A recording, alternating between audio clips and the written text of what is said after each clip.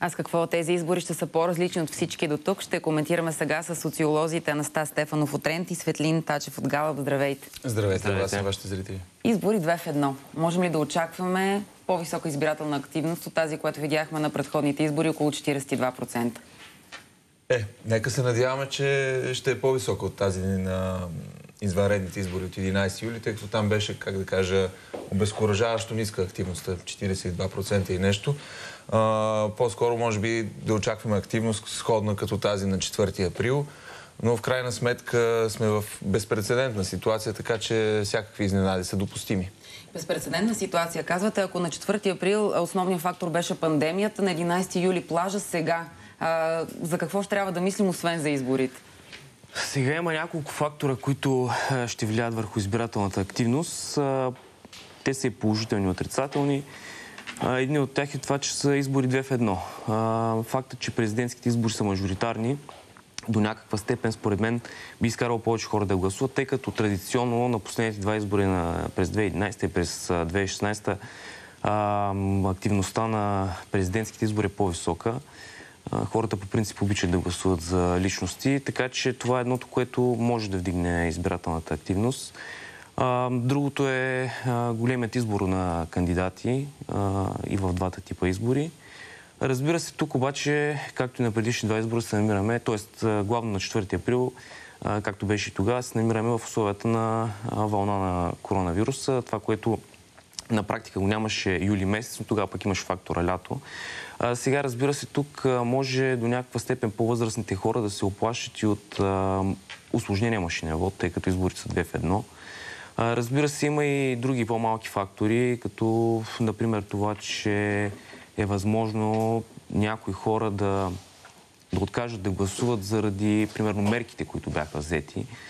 А, така че това са а, доста фактори, които влияят и които много трудно биха бих прогнозирал. Това е много трудно да се прогнозира в момента каква ще е избирателната активност.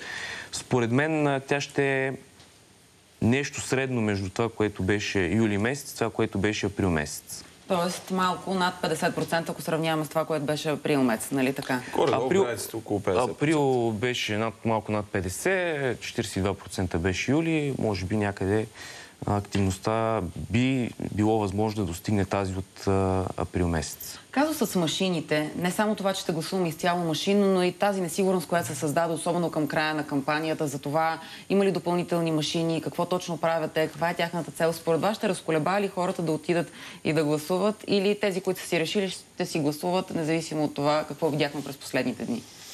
Не смятам, че ще има особен ефект, по проста причина, че една част от а, избирателния корпус, който очакваме да отиде да гласува, той е решил да гласува още преди кампанията. И това е съществена част. Това са политическите ядра на основните политически партии.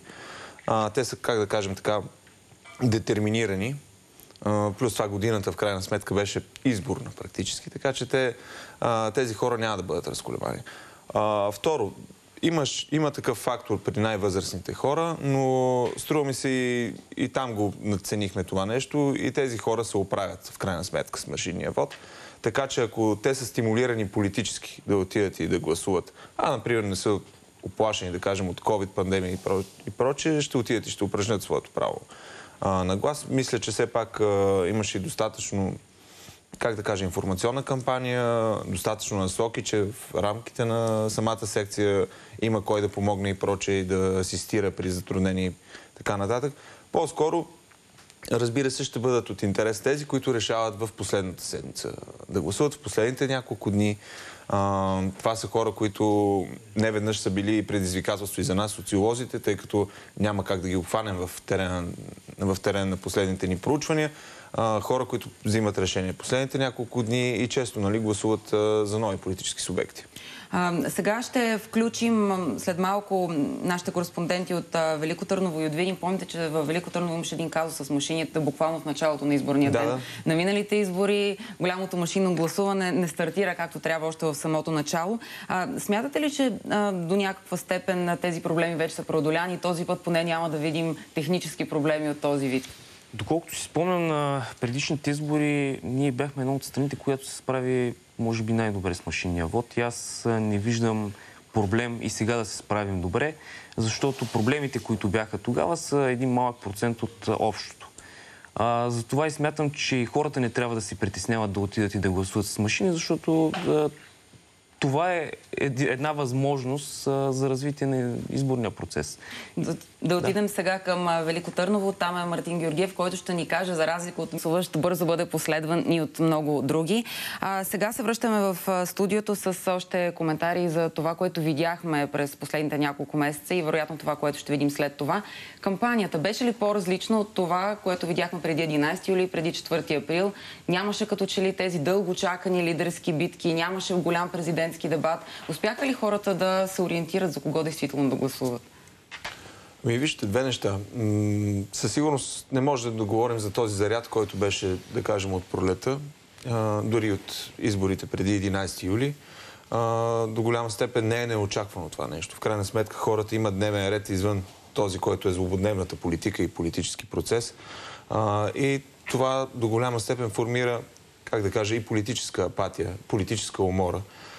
Плюс това, за да не звучи толкова, как да кажа, отрицателно сутринта, но все пак не смятам, че политиците направиха нещо крайно духотворяващо, нали? че да се разпари един политически дебат, да се създаде, как да кажа, една атмосфера, в която нали, значителни слои от обществото да се, да се чувстват ангажирани и приобщени към политическия процес и това, което а, се случва и това, което следва да ни очаква. Основният въпрос в крайна сметка остава същият като от преди, като от пролета и като от лятото. Ще има ли възможност политическата конфигурация, която ще се създаде след изборните резултати от днешния ден, да конструира някакво правителство, тъй като в крайна сметка това се превръща в огромно предизвикателство за самата ни политическа система. След всички спорове, които видяхме и в 46 и в 45-я парламент, а и по време на предизборната кампания, а, доколко според вас са обезкуражени хората, че тези хора, за които те днес ще отидат да гласуват, въобще ще успеят да се спогодят след изборите?